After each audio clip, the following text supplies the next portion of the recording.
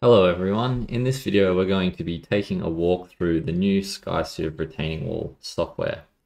So we've recent, recently released it to the platform and if you go to the dashboard and scroll down you'll find retaining wall design module. So you can just click on that and it'll start up an instance and you'll just start with a basic wall as the default.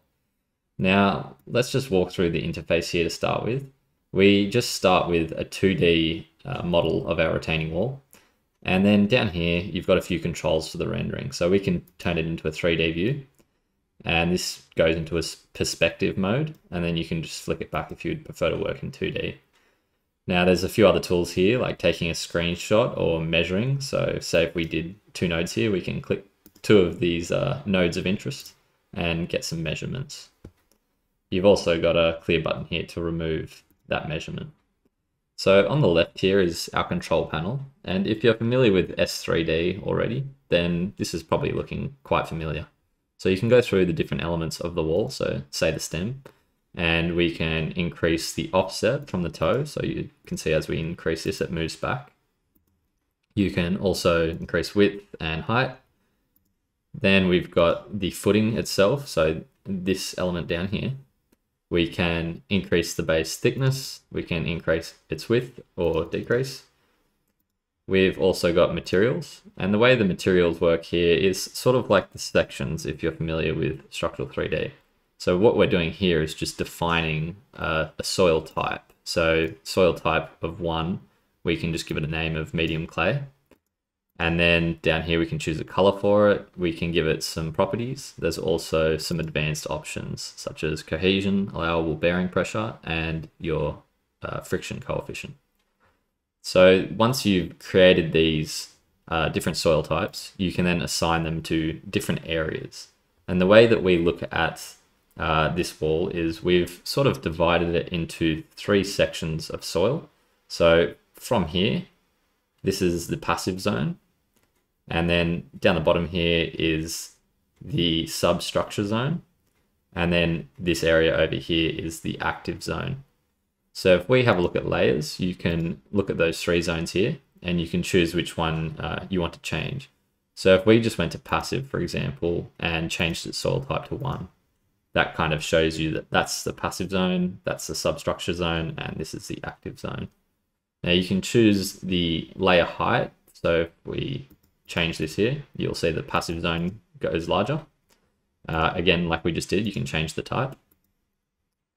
Now, the next thing that we would probably look at is just the loads. So you can just add a, a surcharge load to the active soil zone over here. So you just put a negative 10 because we're considering uh, here that up would be positive. So negative 10 will give us a UDL going down. Now this is all acting over a unit width of, say, in my case here, I'm in meters, so this would be a one meter length of wall. So this here is actually going to be more like a pressure acting over that one meter, but uh, the graphics just show it as a UDL. So that's about it for the control panel here. You've also got uh, some settings. You can click up here or down here where you can adjust your units uh, into something that you prefer to work with and you can then save it as the default. So next time it launches, it will stay in those units. So once we've created our wall, we can just hit analyze over here. And that'll take a moment to run. And what we're going to get is just a basic summary of the three main things that we're looking for. So we've got here overturning, sliding, and bearing, which you can see here for bearing it failed. And that's because the factor of safety that was calculated didn't exceed the recommended factor of safety. Now we've put recommended ones here uh, in case you're not sure what you want to use, but if you know what you want to use, then uh, in that case, these might not be of interest to you. Uh, and then just down here, we've got some basic summaries of those forces. So resisting moments, overturning moments, same for sliding, and then also some bearing.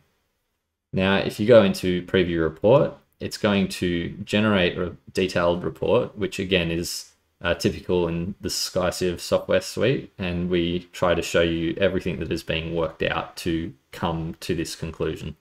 So we've got a screenshot here of the wall, and then you've got sort of just tables of all the data that has been collected from your input, and then the equations that we used to determine the results.